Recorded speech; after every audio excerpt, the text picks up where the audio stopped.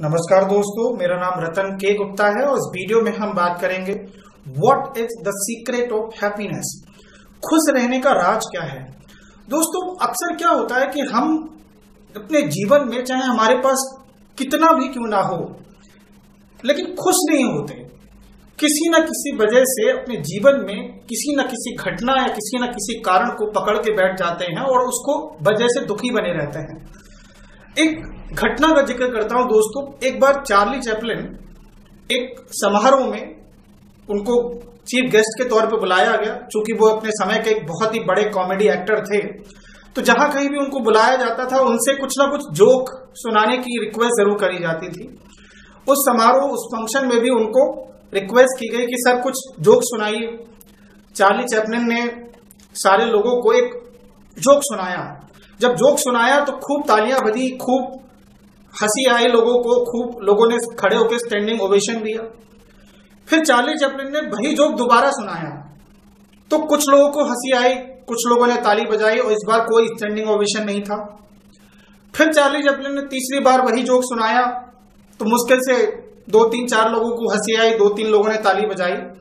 और चौथी बार जब वही joke same joke Charlie Chaplin ने फिर से सुनाया तो इस बार पूरे हॉल में ना किसी ने ताली बजाई, ना किसी को हँसी आई, ना किसी को कोई खुशी हुई। तो चार्ली चैपलिन लोगों से पूछा कि जब आप मेरे एक जोक पर, सेम जोक पर बार बार हंस नहीं सकते हो बार बार ताली नहीं बजा सकते हो तो एक ही दुख को पकड़कर बार बार रो कैसे सकते हो? कभी सोचे दोस्त, हम सब क्या करते हैं? एक ही चीज़ पर जब बार बार हंस नहीं सकते हैं तो एक ही घटना, एक ही कारण के कार बार बार दुखी क्यों रहते हैं बार बार रोते क्यों रहते हैं, उसको पकड़ के क्यों बैठ जाते हैं दोस्तों? अक्सर होता क्या है दोस्तों कि हम ग्लास का आधा खाली हिस्सा देखते हैं, आधा भरा हिस्सा नहीं।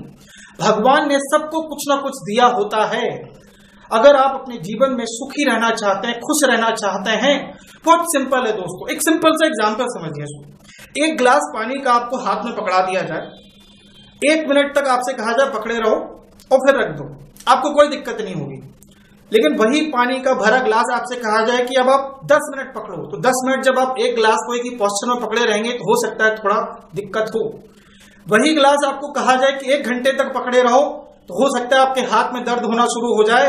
और वही पानी का ग्लास आपसे कहा जाए कि एक दिन आठ घंटे, दस घंटे लगातार पकड़ के बैठे रहो दोस्तों।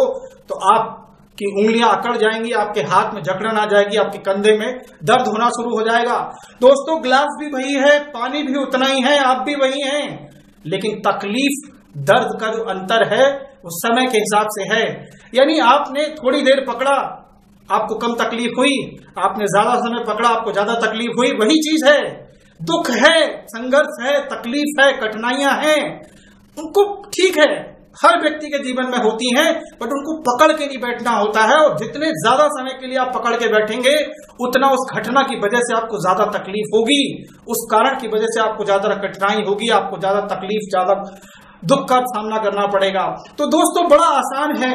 खुश रहने के राज बहुत सिंपल है। दो चीज़ें आप कीजिए। एक, अपने से नीचे वाले को देखिए। अपने से नीचे वाले को देखने का मतलब अगर आपके पास कार है, आप स्कूटर वाले को देखिए। आपको भगवान ने उससे थोड़ा ज़्यादा दिया है। अगर आपके पास स्कूटर है, साइकिल वाले को देखिए, आपके पास उससे ज़्यादा है। और अगर आप पे साइकिल है तो आप पैदल वाले को देखिए, आपको खुशी मिलेगी, क्योंकि आपको लगेगा कि आपके पास दूसरे व्यक्ति से ज़्यादा है, क्योंकि हमारे दुखों का सबसे बड़ा कारण हम पे क्या है, इस वजह से नहीं। हमारे पड़ोसी पे कहीं हमसे ज़्यादा तो नहीं है, इसकी वजह से हम दुखी रहते हैं, ऐसा बिल्कुल ना करें। जो आपके पास है, आप ग्लास का जो आधा भरा हिस्सा है, उसको देखिए, उसमें संतुष्टि हासिल रखिए, उसका आनंद लेने की कोशिश करिए, ना कि जो आप पर नहीं है, उसके चक्कर में जो आपके पास है। उसका आनंद लेने से भी महरूम क्यों रहना? दूसरी चीज़, जिसमें आपको आनंद मिलता है दोस्तों, जो अच्छा लगता है, आपको जो काम करने में खुशी मिलती है, आप वो काम करना शुरू करिए। अगर आप ये दो चीज़ें करेंगे दोस्तों तो आपके जीवन में जो खुशी है, उनका कभी समाप्त नहीं होंगी, खुशियाँ ही खुशियाँ होंगी। सीक्रेट ऑफ़ हैप्पीनेस कहीं और नहीं है दोस्तों, आपके खुद के पास है। अपने से नीचे वाले को देखना शुरू कर दीजिए, जो आपके पास है, उसमें संतुष्ट रहिए। और जो काम में आपको खुशी मिलती है, आपको आनंद मिलता है, वो काम करिए।